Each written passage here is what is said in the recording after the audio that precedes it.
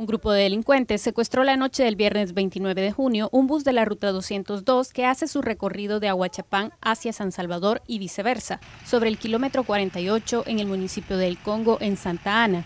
En la unidad se transportaban no menos de 40 pasajeros. Según versiones de los pasajeros, las personas desconocidas desviaron la unidad de transporte hacia unos cafetales. En el lugar les quitaron todas las pertenencias a las víctimas. Los delincuentes se llevaron al menos 13 personas secuestradas que fueron localizadas por la policía más tarde.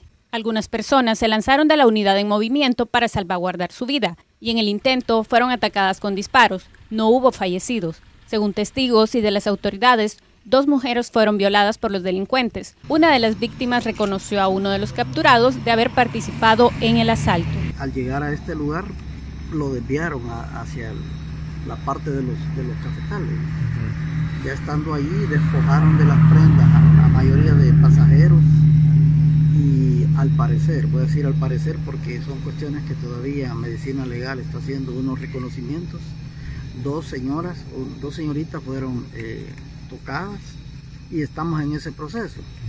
Eh, actualmente estamos eh, en la búsqueda y captura de los sospechosos.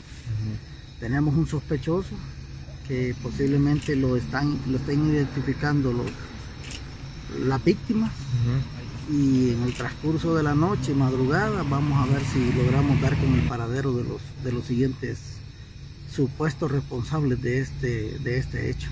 En horas de la madrugada, las autoridades desplegaron un fuerte operativo en la zona bajo las órdenes del presidente Nayib Bukele. Hasta la mañana de este sábado, la PNC confirma la captura de tres personas sospechosas. Este es un informe de la